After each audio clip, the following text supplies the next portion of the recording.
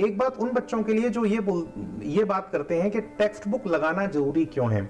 मैं अपने अनुभव के आधार पर आपको एक बात बताना चाहता हूँ। जो बच्चे सिलेक्ट हुए मैंने भी आ, इन एग्ज़ाम्स को क्रैक किया हुआ है। तो मैं अपने अनुभव के आधार पर आपको एक बात बताना चाहता हूँ। आप ऑब्जेक्टिव क्वेश्चन लगाइए आप प्रीवियस ईयर्स के पेपर्स लगाइए वो बात ठीक है आपकी प्रैक्टिस के लिए।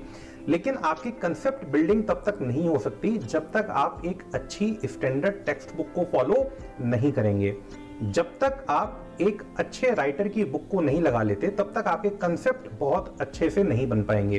देखिए, आप बीसी पुनमिया में से जब न्यूमेरिकल क्वेश्चंस को लगाएँगे तो वो क्वेश्चन आपके पेपर में नहीं आने वाले। वो बड़े क्वेश्चंस को एमपीपीएससी यही नहीं पूछने वाला।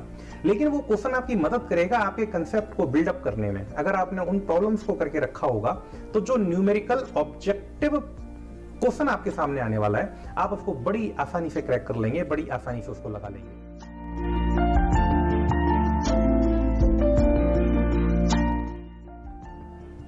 हेलो फ्रेंड्स तो आज हम बात करेंगे एक बुक रिव्यू के बारे में।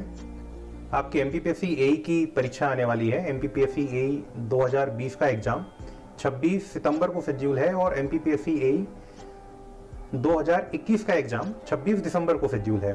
तो बच्चे, उसके बारे में जनरली पूछते हैं कि सर कौन से सब्जेक्ट की कौन सी बुक हमें पढ़नी चाहिए। तो हम लोगों ने एक ये सीरीज़ चालू करी है, जिसके अंदर हम लोग अलग अलग सब्जेक्ट के अंदर किस बुक की स्टडी हमें करनी चाहिए, कौन सी बुक हमारे लिए पढ़ने के लिए ठीक रहेगी, उसके बारे में हम थोड़ी सी बात करेंगे। तो आज इस सीरीज़ के पहले एपिसोड के अंदर हम लोग बात करेंगे सॉइल मैकेनिक्स के बारे में। तो सॉइल मैकेनिक्स या फिर जियो टेक्निकल इंजीनियरिंग जो हमारा सब्जेक्ट है, पहली बात तो ये, हम सभी ये बात जानते हैं कि बहुत इंपॉर्टेंट सब्जेक्ट है।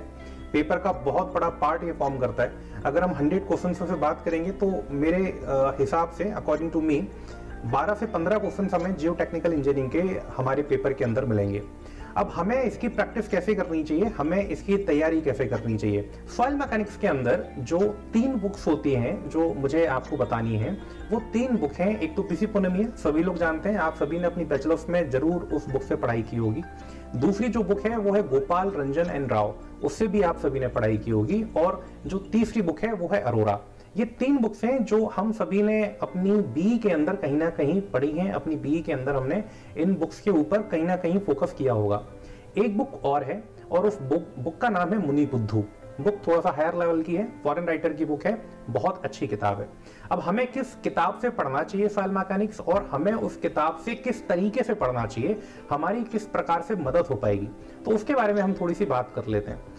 जो तीन मैंने इंडियन राइटर्स की आपको किताब बताई, वो तीनों किताबें बहुत अच्छी हैं। आप किसी भी किताब को प्रेफर कर सकते हैं, आप किसी भी किताब से आगे बढ़ सकते हैं। लेकिन अगर मैं पर्टिकुलरली एमपीपीएससी ए के लिए बात करूँगा तो क्योंकि ये एग्ज़ाम अब ऑब्जेक्टिव पैटर्न पर हो चुका है, इसीलिए हम गोपाल रंजन राव को ना पढ़ें तो ज़्यादा अच्छा रहेगा, क्योंकि उस बुक के अंदर थ्योरी पोर्शन बहुत ज़्यादा अलाबोरेटेड है।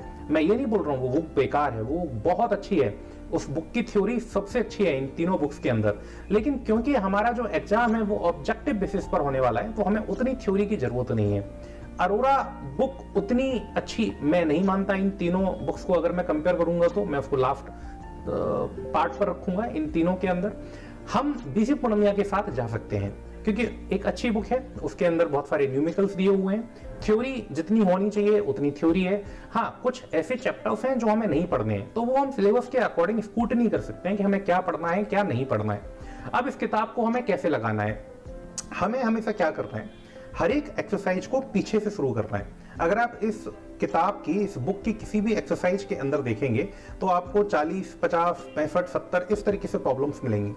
तो हमेशा क्या कीजिए स्टार्टिंग से प्रॉब्लम्स को शुरू मत कीजिए। अगर आपने चैप्टर अच्छे से पढ़ा हुआ है, अगर आपने थ्योरी लगाई हुई है, और आपने प्रीवियस ईयर्स के पेपर्स लगा लिए हैं, उसके बाद अगर आप बुक सॉल्व कर रहे हैं तो आप पीछे से उन प्रॉब्लम्स को सॉल्व करना शुरू कीजिए, और पीछे से पंद्रह या बीस प्रॉब्लम सॉल्व कीजिए, क्योंकि सबसे ज़्यादा कॉम्प्लिकेटेड प्रॉब्लम्स वही आने वाली हैं। और अगर आपने लास्ट से पंद्रह प्रॉब्लम्स लगा ली हर चैप्टर के अंदर तो उस बुक का जो निचोड़ होगा, जो समरी होगी, और उस बुक का जितना भी कॉम्प्लिकेटेड पोर्शन होगा, वो पूरा आप लगा चुके होंगे, और आपकी वो बुक कंप्लीट हो जाएगी। अगर आप बीसी पुनमिया कंप्लीट कर लेते हैं, उसके बाद आगे आप मुनि बुद्धू के ऊपर जा सकते हैं। मुनि बुद्धू थोड़ी सी हार लेवल की बुक है। उसके अंदर जो यूनिट्स हैं, वो भी एफ़ की यूनिट है। उसके अंदर ऐसा यूनिट्स नहीं है तो थोड़ी सी दिक्कत होगी। अगर समय बचता है तो वहाँ तक जाना है। अगर समय नहीं है तो हम बीसी पुनमिया को लगा करके अपनी तैयारी को एक फाइनल टच दे सकते हैं।